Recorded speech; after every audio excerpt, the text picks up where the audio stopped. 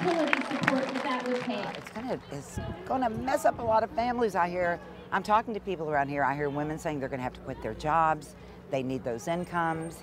Uh, on a personal level, for me, what would happen with my son is my son who needs 24-hour day care. There's a chance that his one-on-one care could be cut in half, so that he, he can only have one-on-one uh, 12 hours a day. The least our government can do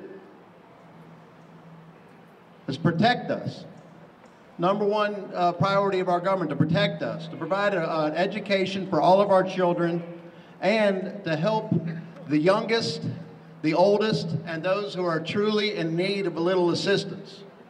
Now, we're here today because we love somebody and we care for somebody who's truly in need of just a little assistance. The least we can do is support you and be, be of assistance to you. This is not how we balance the budget.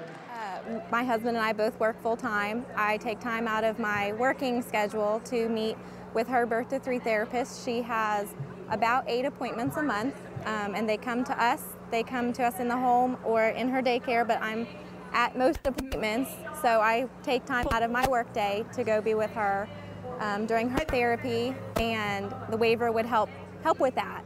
Um, and then we would just have to wait even longer for services because um, there's a waiting list plus two more years before we could apply if these cuts are approved.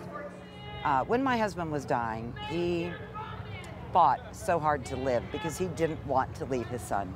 He was the most extraordinary father, there with me every step of the way all those years. And, and I know finally when it was pretty clear that, that he wasn't going to make it, there was no way he would survive um, I sat down with him one night and I told him, I said, you know, I want you to know, this is so personal, but I want you to know that you can leave if you have to, if you need to.